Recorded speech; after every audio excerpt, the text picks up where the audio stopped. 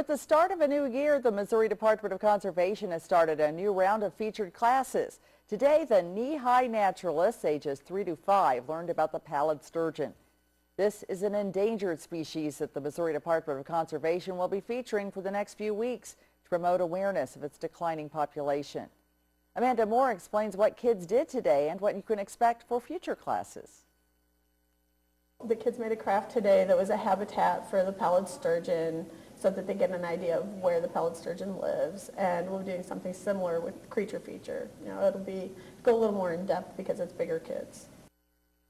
The next class featuring the pallid sturgeon will be on Wednesday at the Missouri Department of Conservation office in Kirksville from 3.30 to 4.30 p.m. There are other classes as well, and we have a link with all that information at Heartland